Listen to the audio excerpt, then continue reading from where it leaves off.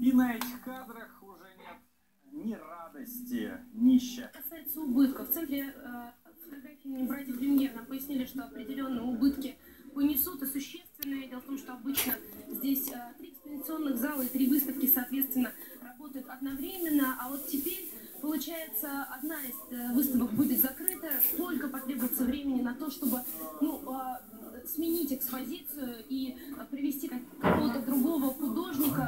выставить его работы, пока не берутся э, комментировать, собственно, представители э, этой площадки. И пока, соответственно, оценить убытки именно ну, в, в денежном эквиваленте они не могут, но говорят, что они будут и будут такие, да. Лен, спасибо. Такая скандальное. Просто скандал скандалом, как только еще и журналисты там оказались пострадали. Тебе большое спасибо. Это была моя коллега Елена